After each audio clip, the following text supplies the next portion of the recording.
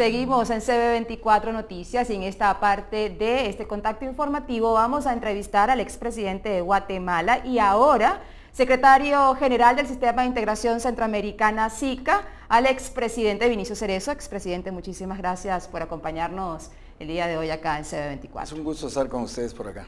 El expresidente de Vinicio Cerezo pues, fue nombrado secretario general del Sistema de Integración Centroamericana durante la cumbre de presidentes que se llevó a cabo en Costa Rica.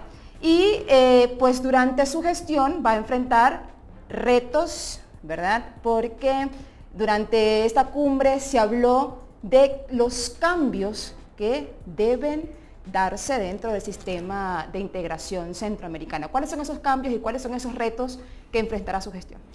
Bueno, a lo largo de estos 30 eh, años, desde la creación de, desde el plan de Esquipulas y luego de la creación del sistema de integración centroamericana, se han venido desarrollando muchas actividades, muchas áreas de interés, el medio ambiente, el, desarrollo sostenible, la seguridad ciudadana, la seguridad regional, y han surgido ahora nuevos eh, temas.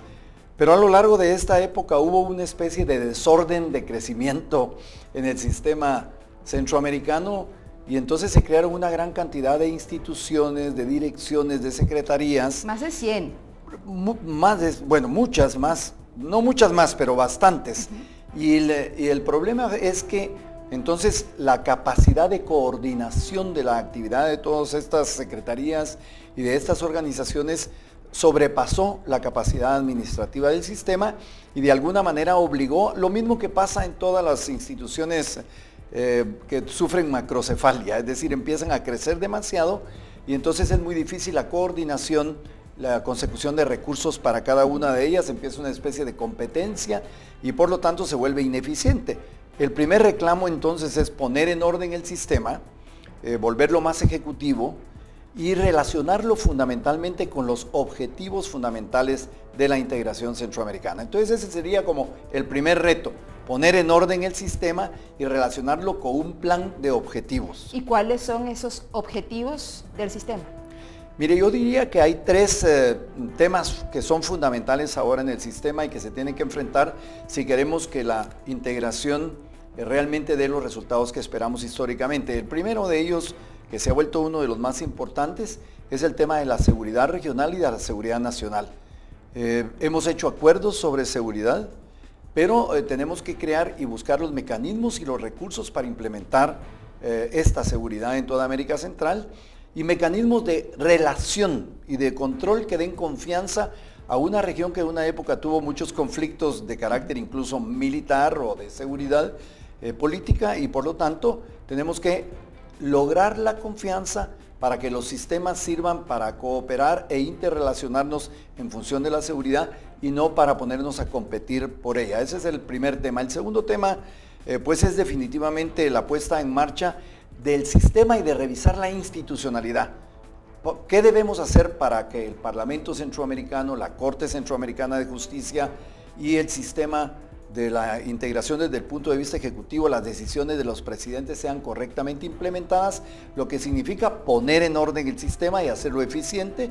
Y el tercero, tal vez es el reto más importante, es eh, buscar un nuevo modelo de desarrollo que nos ponga a todos a trabajar de común acuerdo para encontrar recursos que vengan a invertirse a la región centroamericana y que ayuden y contribuyan a resolver la problemática económica y social que estamos enfrentando, porque en el fondo de muchos de los problemas, entre ellos la inseguridad, está eh, los gravísimos eh, dilemas económicos y sociales como la marginación de muchos sectores de la, sociedad, eh, la pobreza extrema y la concentración extrema de la riqueza y naturalmente la participación y la inclusión de algunos sectores muy importantes como son las mujeres y los jóvenes en este sistema social y por supuesto en algunos países como Guatemala y Panamá la inclusión de los grupos étnicos originarios que han sido marginados durante años de la economía y de la sociedad de Centroamérica.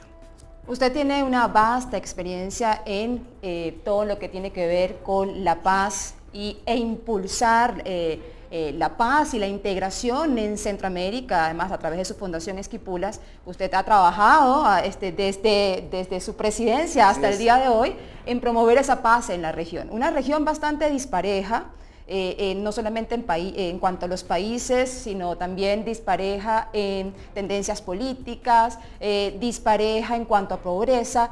¿Cómo hacer para que el SICA o, las acciones o esos objetivos que se, eh, que se esperan realizar en el SICA realmente sean efectivos. Y como dijo el presidente Varela, que tomé nota acá, que pase de acciones a resultados. Mire, eh, cuando hay esa disparidad de criterios, esas diferencias ideológicas, esa diferencia de planteamientos sobre algunas cosas, una visión más pragmática o más ideológica, lo que se tiene que hacer es eh, buscar los puntos de consenso. Es decir, siempre hay un punto en el cual uno se puede poner de acuerdo, eh, tanto en la discusión ideológica como en la discusión pragmática, la implementación de medidas. Y, e, entonces lo que tiene que hacer uno en una, posición como la mía, eh, y pues naturalmente teniendo que trabajar con presidentes en funciones en sus países por la experiencia que yo tuve como presidente, es ir encontrando aquellos puntos donde nos podemos poner de acuerdo y lograr el consenso, que el consenso, la definición correcta del consenso es el máximo grado de acuerdo posible dentro del desacuerdo. Este, este es el, tema que tenemos que buscar y ya encontrado ese máximo de acuerdo posible dentro del desacuerdo, pasar al siguiente nivel que es la concertación, o sea, el acuerdo sobre los procedimientos y los objetivos que se tienen que conseguir. La tarea es esa. Hoy, por ejemplo, tuvimos una bellísima reunión con los presidentes y ellos por condescendencia conmigo y por de alguna manera facilitarme el trabajo, eh, tomaron la decisión de trasladarme cuáles eran las inquietudes de cada uno de los presidentes. Yo tomé nota y me comprometí que en 45 días les iba a proponer una hoja de ruta eh, para empezar a enfrentar y a resolver o a trabajar sobre las inquietudes que cada uno de ellos tiene y yo espero que unos dos meses entonces estemos ya marchando para la solución o las, encontrar las vías de, eh, y encontrar los caminos y las rutas para resolver los problemas que ellos han planteado. Pues entonces, porque son bastantes los problemas, entonces tiene muchísimo trabajo para estos próximos 45 días. Mucho trabajo, sí, es un gran reto, sí. Fíjese, eh, otro punto que fue tocado durante la cumbre de presidentes eh, del sistema fue el tema de la unión aduanera que recientemente firmaron Guatemala y Honduras que va a representar sin duda alguna para estos dos países, eh, como lo decían los presidentes, pues un crecimiento de sus economías. ¿Cuáles son las posibilidades para que esta unión aduanera o esta unión económica se propague al resto de la región? Bueno, de hecho los procedimientos, los requisitos y los mecanismos están bastante avanzados entre todos los países. Se hablaba de que lo importante de lo que logró Guatemala con Honduras es que se tomó una decisión que estaba pendiente de tomarse hace 50 años, porque la unión aduanera no fue planteada en el proceso de paz hace 30, sino que es desde la primera parte de la integración centroamericana que fueron los años 60. Por lo tanto, exactamente lo que yo les estaba diciendo, lo que se hizo en la unión aduanera es encontrar cuáles eran los puntos donde se podían poner de acuerdo y tomar decisiones para implementarla, porque lo que uno se tiene que dar cuenta es que las cosas no se, no se resuelven por milagrosamente. Es decir, hay que crear un procedimiento para poder lograr los objetivos y, en el trabajo, en el procedimiento, se van encontrando los puntos de acuerdo que se tienen que hacer. Y lo que sucedía es que eh, a veces nosotros tratábamos de resolver los problemas en América Central, como sucede en muchos países, eh, tocando solo a la temática política, por ejemplo. Lo que yo he propuesto ahora, y es lo que sucedió ahora con la Unión Aduanera, es encontrar cuáles son aquellos temas que pueden interesar a todos los sectores. No solo los políticos tenemos que sentarnos a resolver esto, sino que tiene que entrar la sociedad civil, el sector privado, los empresarios, porque muchas veces o la sociedad civil o los empresarios se oponen porque creen que los acuerdos que van a adoptar los políticos son negativos o inadecuados para sus intereses. Lo que uno tiene que demostrarles, y yo creo que el mundo moderno lo está haciendo porque estamos más comunicados y hay más eh, vías de conocimiento, que el, el proceso de integración es bueno para todos. Es decir, por ejemplo, un empresario que vende cervezas antes se preocupaba por la competencia, bueno, pues la cerveza Pilsener de Salvador no se tomaba en Guatemala a 200 kilómetros de distancia, ni la cerveza gallo se tomaba en El Salvador. Pero de repente los, empresarios se dan cuenta que el capitalismo se basa fundamentalmente en una cosa, uno es el mercado. Es decir, si usted tiene un mercado de 45 millones de personas como es Centroamérica, va a vender más cervezas aunque tenga competencia. O sea, ese tipo de dar a entender que lo que se está haciendo es beneficioso para todos y es el círculo o la, digamos, la, rueda del crecimiento económico de los países desarrollados. Si usted tiene más consumidores, ellos van a producir más cerveza. Si producen más cerveza hay más empleo. Si hay más empleo hay más capacidad de consumo y por lo tanto funciona el mecanismo.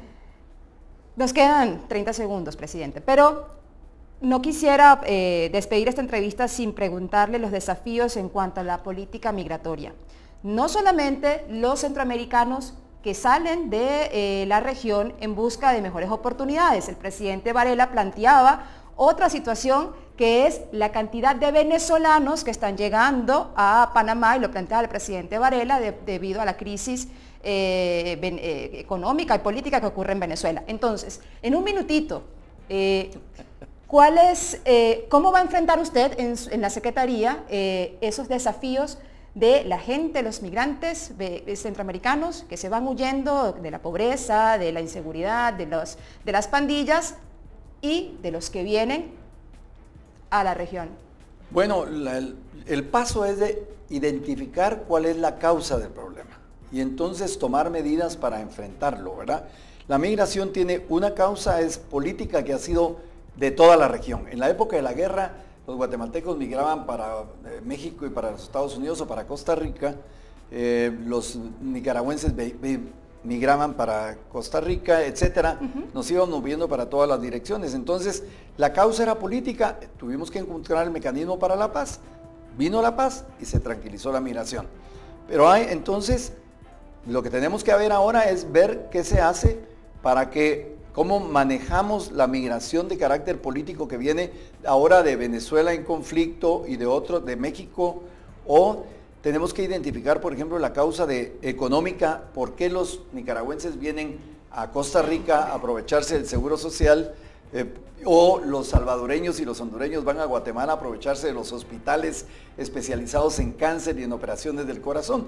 Por lo tanto, ¿cuál es la solución para eso? Pues unificar los seguros sociales de toda América Central para que presten servicios de la misma calidad en todos lados y se va a disminuir la migración tratar de que se resuelvan los problemas políticos para que disminuya la evasión política, en fin, localice el problema, proponga una solución y empiece a trabajar en el tiempo y eso es lo que vamos a proponer. De nuevo, todo tenemos que entender una cosa, identificar el problema, establecer objetivos, después procedimientos para resolverlo y ponernos a trabajar en el asunto. Bueno, y el SICA tendrá pues un secretario general de lujo en los próximos periodos, porque además un hombre de paz que ha trabajado por la paz en la región, reconocido no solamente en Centroamérica, sino en el mundo entero. Así que le deseamos todo el éxito del mundo. Esta es su casa y gracias por habernos acompañado, Muchísimas gracias. Sí, estamos completamente convencidos que la integración centroamericana es el instrumento adecuado para lograr el desarrollo económico y social de América Central. Excelente. Muchas gracias, presidente. Ha sido un placer. Un placer. Encantado. Y con el presidente Vinicio Cerezo, además presidente de la Fundación Esquipulas, despedimos esta parte de, de CB24 Noticias y nos vemos en una próxima oportunidad.